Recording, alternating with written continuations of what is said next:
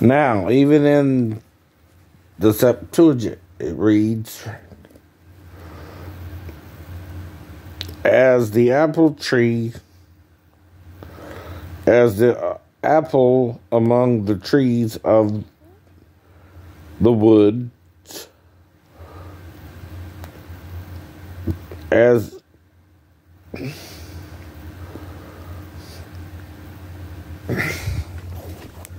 is my kinsman.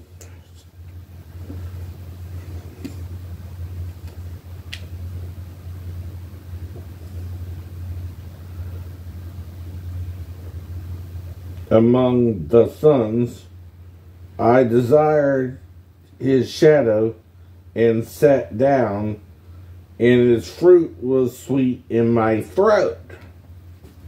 What fruit?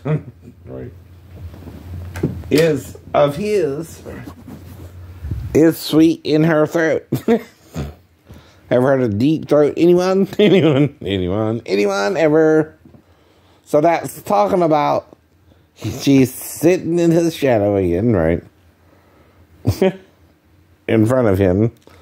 And his fruit is in her throat. and sweet to it, right? What is she doing? blood child. Thank you. That's in your Bible. You're playing dumb. You're taking away from the meaning of this passage. You're adding to it confusion, pretending you don't know what it means. You're adding to the plagues. By the way, if you add to this book, right? What happens if you're taken away from it, right? Your name is removed, right? Your name is taken out, right? Of the book of life. Well, right? that means you can't live past your 120 years, right? And die and are not, right? Like Satan, like Satan.